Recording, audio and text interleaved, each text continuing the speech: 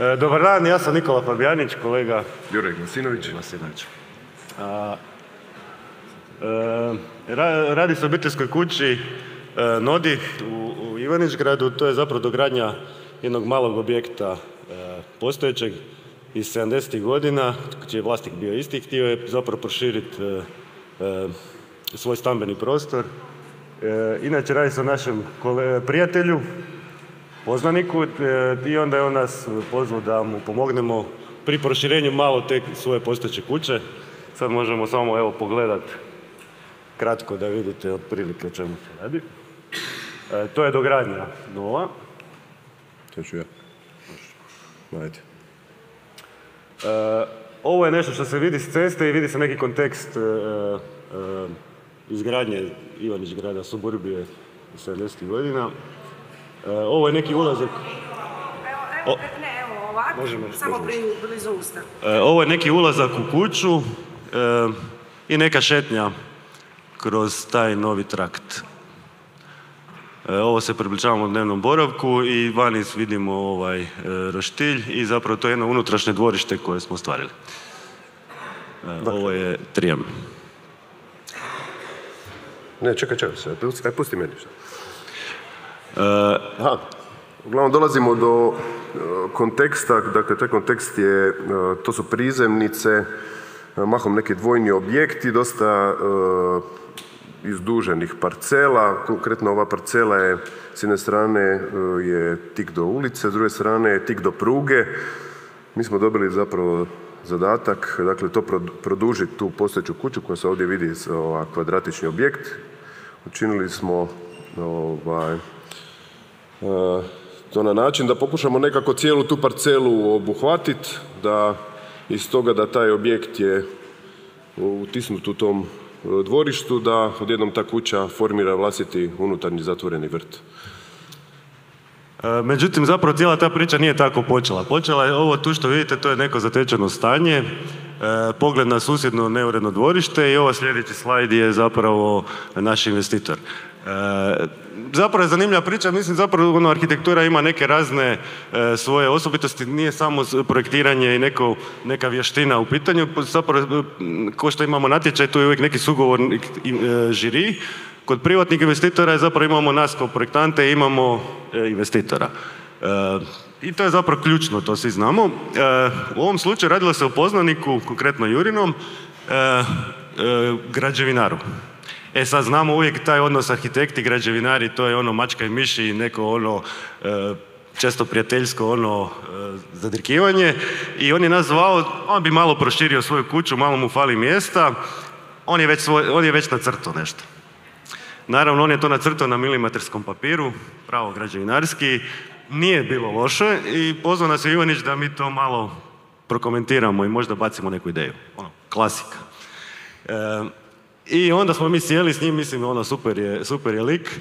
E, pogledali smo to i sad deset minuta ja i Jure to gledamo. Ha, dobro, da, nije, Dino, je bi si ti ljutio kad bi mi nešto sasvim drugo predložili? Ne, da pače. Znači, nula ego. I tu je počela neka ono predivna priča i odnos sa našim investitorom i to je zapravo nešto što je poučno možda u nekom tom kontekstu. Još šest minuta. Da, da, da. Uglavnom onda smo mi njemu zapravo napravili e, jedan uzdužni e, aneks od nekih 80 kvadrata koji je uključivao sve te sadržaje koje, koje on nama ovaj, zatražio a to je e, da zapravo taj neki dnevni dio bude u toj nekoj dogradnji, a da tu staru kuću pokuša ostaviti isključivo kao neko ovaj, spavaći dio. Uh, urbanistički kontekst koji nam je bio zanimljiv i vrlo brzo, zapravo ono što mi smatramo relativno pametnim je onaj neki kontekst neke panonske kuće koje je ušareno, selo i tako dalje. To je nešto što je postojalo jako dugo stoljeća i funkcioniralo jako dobro. Nažalost, uh, te iste parcele koje se nisu promijenile su često zapravo počele se graditi nekim točkastim izgradnjama sa lošim međuprostorima između.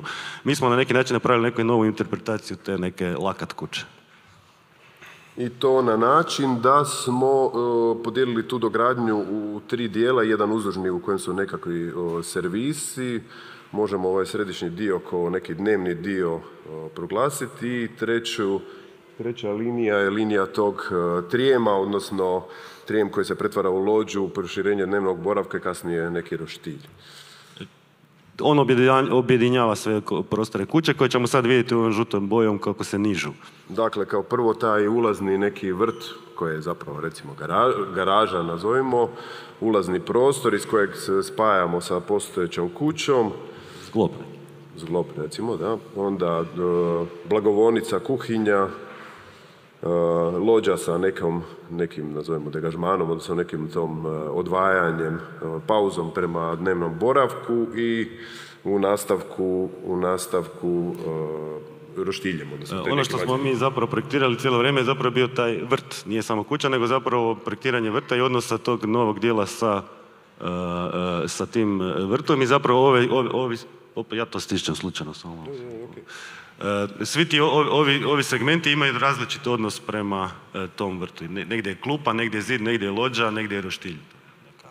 tema.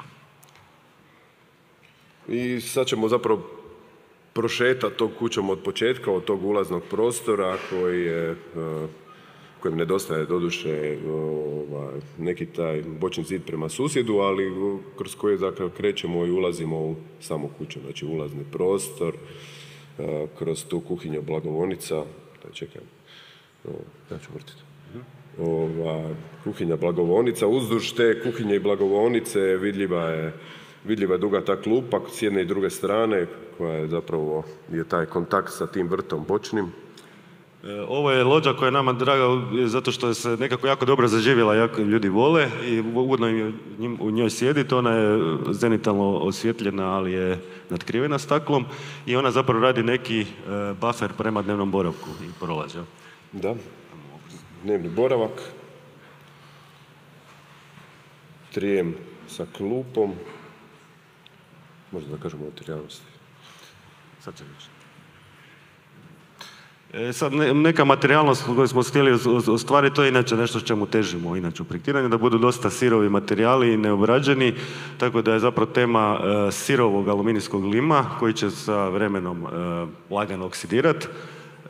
Cinčani čelik, drvo, beton i brušeni beton su nam neke, i blokete, su nam neka ovaj, materializacija ovog objekta.